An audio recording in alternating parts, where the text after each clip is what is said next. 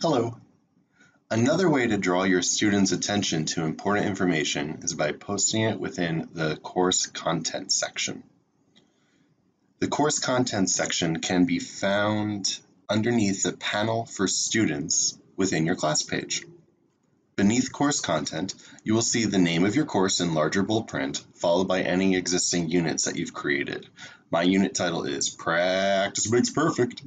Beneath that, you can see any journals, assessments, events, or lessons that you've posted. I only have my initial unit, a day's lesson, and one writing assessment, which I'm calling an assignment, posted. Let me show you how I created them and added these items to course content. To add to course content, don't even think about clicking on course content since that will not let you create anything. Instead, you're going to move to the upper right and click on Planner. Please note that I had to scroll up to get here. If you don't scroll up from where you are on course content, then you won't see Planner in the top right. So I scrolled up and found Planner. Think of this as one of those spiral-bound lesson plan books. Click on Today to jump to today's date. You'll see that to the left of March 25th is my unit, beginning on the date that I created it. In the March 25th box, you'll see the lesson I posted as part of this unit. But where is the assessment, the assignment, that I made for writing? It's down on the date that I set as my arbitrary due date. Now, you can post an assessment within your class feed without a unit, but you cannot create a lesson in your class feed. You can only create lessons from within the planner. You also need to create a unit before creating a lesson.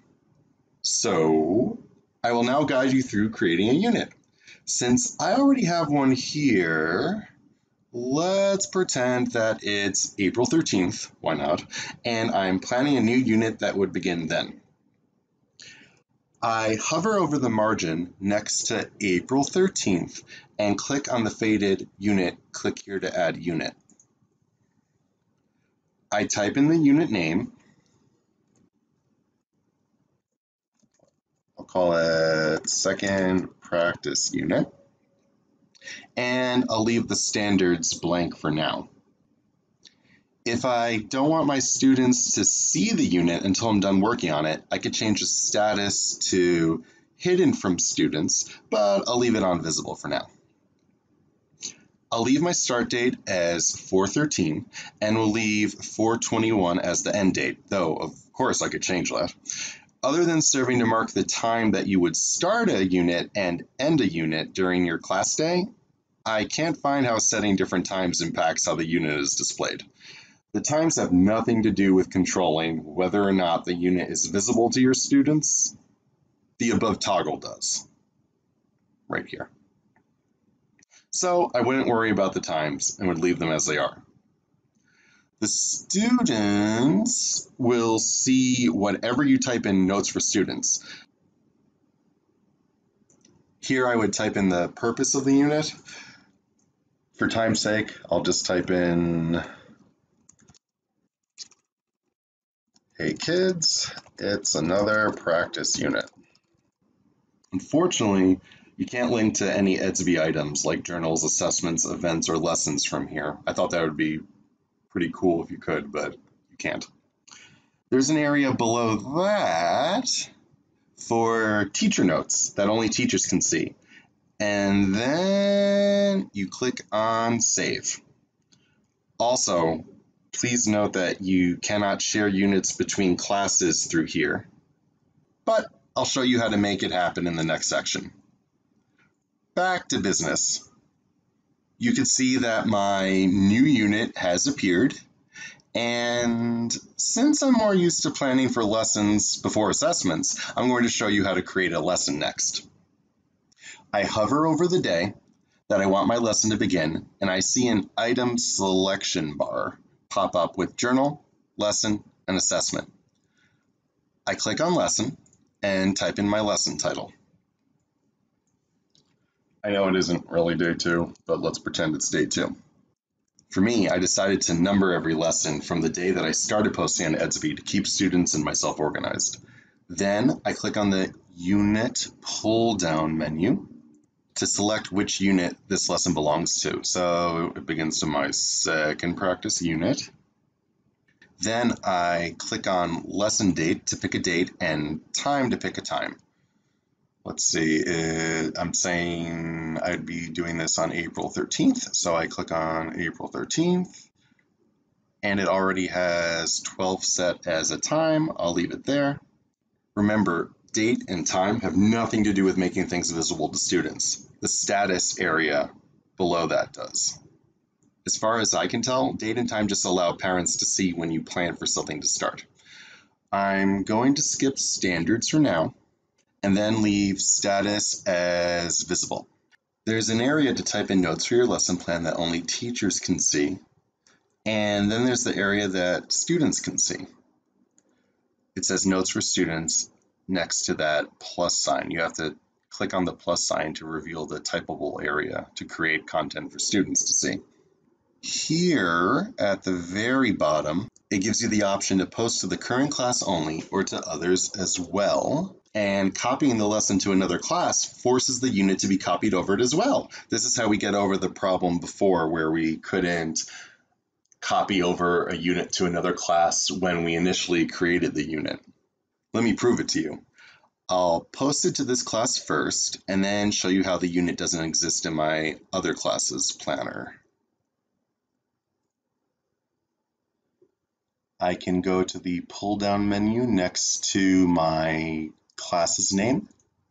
And by clicking on Mr. Buckley's afternoon class, I'll jump to the planner for afternoon class. I'll click on today to get to the area where I know that unit would appear if it copied over. And I scroll down and I see that that new practice unit I created is not here.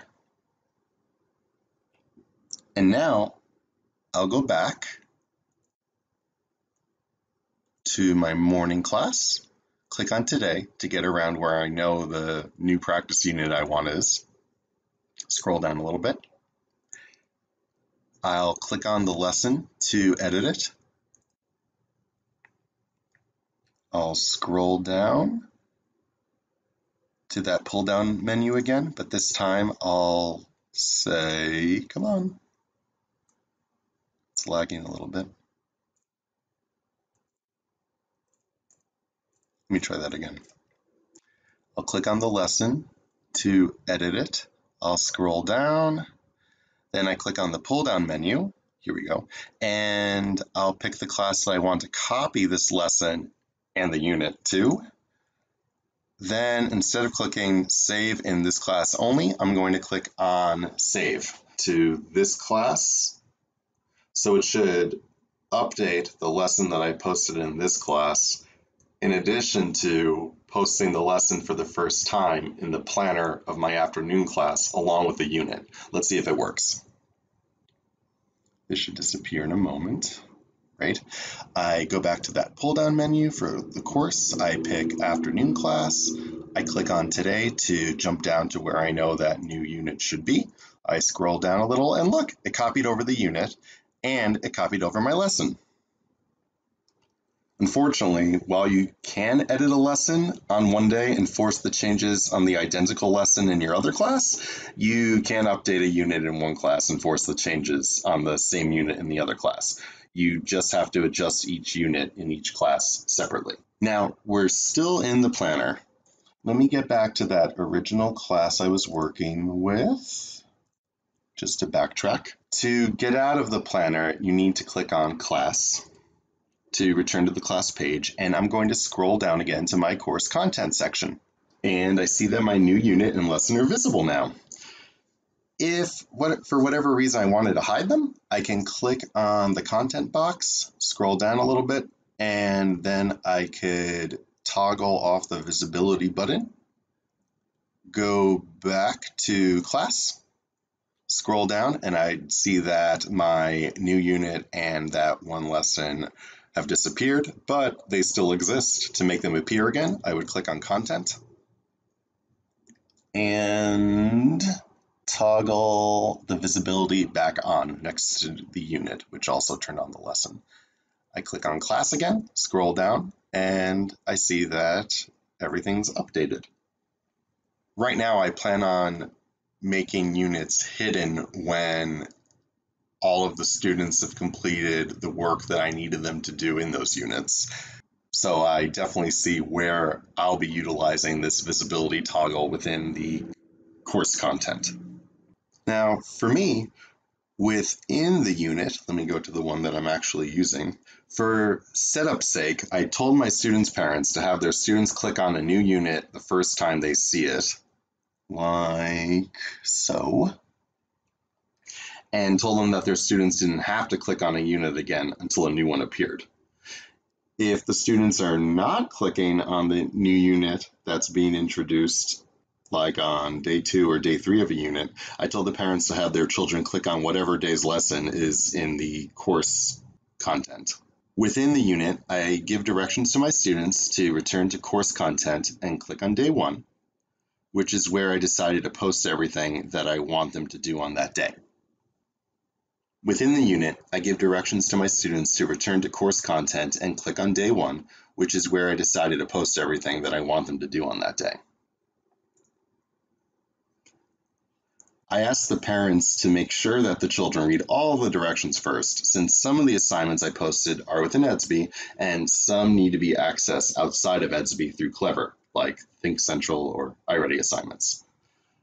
I also told the parents to tell the students to keep clicking back on whatever day they're working on to see what exactly is due.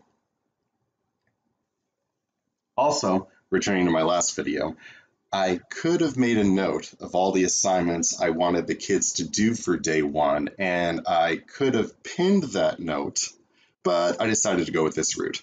Currently, I prefer utilizing course content and pinning over journals for now. We'll see if my preference changes as these days continue. I hope this was useful, and please check back for more videos in the future. Thanks!